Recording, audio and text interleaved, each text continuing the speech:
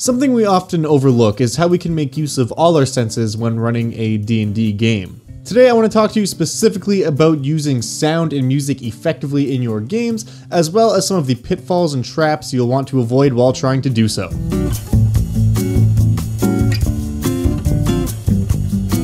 Hello and welcome to a brand new episode of Dungeon Mastery. I am your host Josiah, also known as Dungeon Dad, and today we're going to be talking about using sound in your D&D game. When it comes to using music or ambient sound in tabletop games, people tend to have a lot of varying opinions about this. I've talked to people who have never even considered doing this or who have tried it and found that it's not for them, and other people who do this and won't run a game without it. And just for clarification, when I talk about using music in D&D, what I mean is basically just having a speaker set up somewhere around the game table that is just playing some soft music in the background that can kind of add to the mood of whatever's happening at the moment in your game. To give you an example of what I mean, take the following bit of narration for instance. We'll go through it once and then we'll go through it again with some sound in the background and you'll be able to see the difference, or hear the difference rather.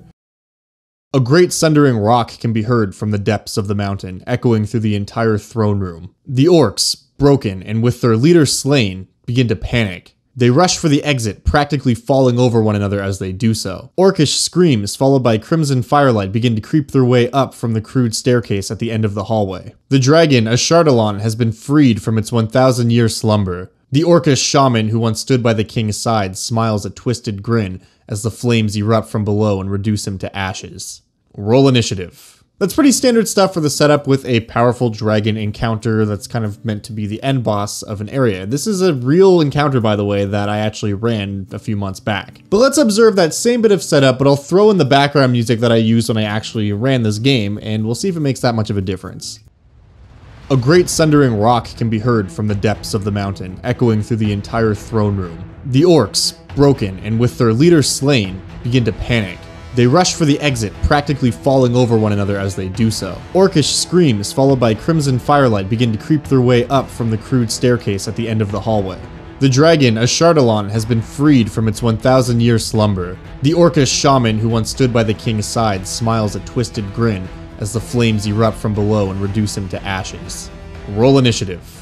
Now, of course, this is all totally subjective, but personally, I like the touch of tension that the music adds. But a common misconception when it comes to using music in D&D is that it's not used just for battle or just for tense moments. Any of you who watch Critical Role and see how they make use of music on that show will know what I mean by this. Sound can be used to punctuate an emotional moment, or you can use an ambient track of townsfolk going about their daily business to weave a tapestry in the background of sound that the players will hear as their characters are walking through the main area of a city. It can even make travel a little bit more interesting, and it just adds that extra hint of adventure of the party leaving town and going back out into the wilderness. I know nothing gets me in the mood to sail the nine seas like a good old shanty. And music isn't the only thing at your disposal here. There are tons of ambient tracks out there you can use for when your players enter a blacksmith shop or are exploring an old abandoned mine. Ambient sounds can be really nice to just add to a scene and make you really feel like you're in it.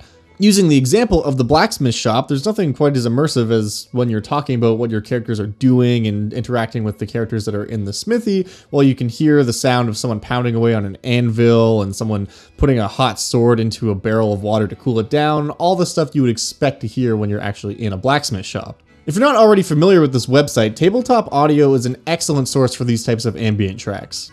It's all 100% free. You can go on the website and just play them straight from your browser or download them if you want to. You don't have to sign up or anything. You just click it and you're there. I'll leave a link to that in the description below as well for those of you who are curious and want to check that out, but it's definitely worth your time if you plan on using any type of ambient tracks in the background of your games these ambient track loops, whether they're from tabletop audio or anywhere else really, or if, even if you've created them yourself, can really help add to the sense of exploring a musty dungeon that hasn't been disturbed for a thousand years. Another fun use for music in your game is to let all of your characters choose a theme song. It can be really whatever, something serious, something funny, but something that they feel represents their character. It can be a neat tool for you to use as a dungeon master just to keep this track in your back pocket on your D&D playlist or however you have it set up And then when that player does something really intense or epic or it just feels appropriate and you put on that character's theme song, it just has the potential to elevate that moment a little bit and it engages your players on another level with what you're actually doing to prepare your games as well, which is always a good thing. Now, with all that said, there are totally traps that are pretty easy to fall into that you might not even realize you're falling into when you're setting up and preparing to add sound to your game. The first piece of advice I would give is don't worry about finding the perfect song for every single encounter. And there's nothing wrong with picking out a playlist ahead of time with songs that you feel would be appropriate or backtracks that you feel be appropriate for certain areas.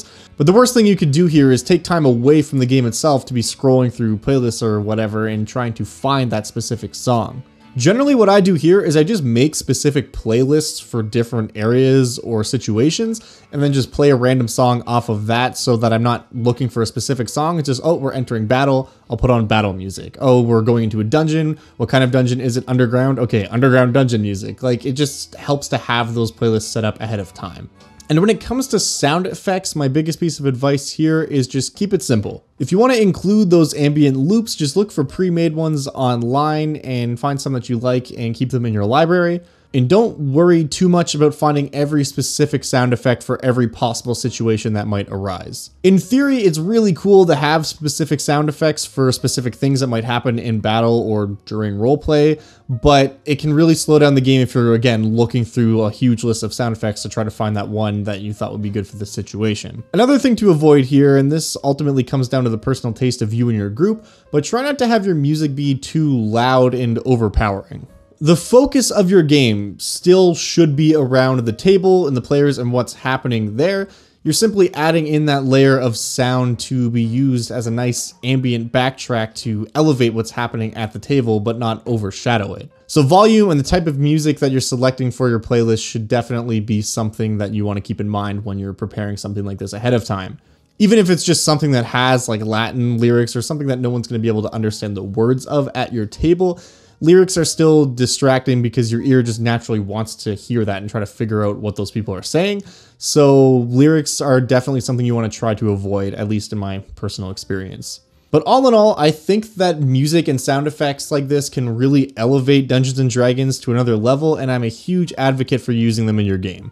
So that's pretty much all I wanted to say in this video today. Uh, let me know if you guys use sound effects or music in your games at home and some tactics you might employ and ways that you use that to try to make things a bit more interesting. As always, if you want to get a hold of me on Twitter, Discord, whatever, all that stuff is in the description below, as is my Patreon link. Thank you guys so much for all the support you offer me both there and everywhere else. I seriously couldn't do this without you. And most of all, thank you guys so much for watching. I really do appreciate it, and I will see you in the next video.